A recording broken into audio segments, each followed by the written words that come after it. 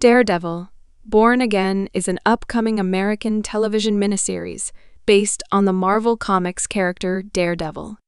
It is the sequel to the Netflix series Daredevil, 2015 2018, and is considered the fourth season of the series.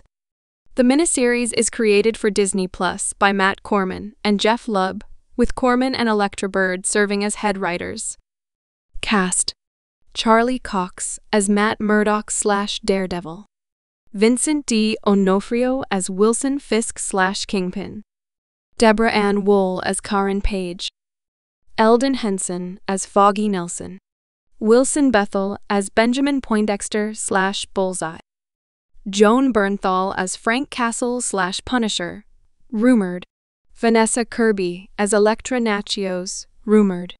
Plot The plot of Daredevil, Born Again, is currently unknown. However, the miniseries is expected to pick up where the Netflix series left off, with Matt Murdock and Wilson Fisk continuing their rivalry. The miniseries is also expected to explore the Daredevil mythos more deeply, including Murdock's Catholicism and his relationship with Elektra Natchios. Release date Daredevil Born Again was originally scheduled to premiere on Disney Plus in early 2024. However, Due to the 2023 Writers Guild of America strike, the miniseries was delayed and is now expected to premiere in 2025. Trailer A trailer for Daredevil, Born Again, has not yet been released.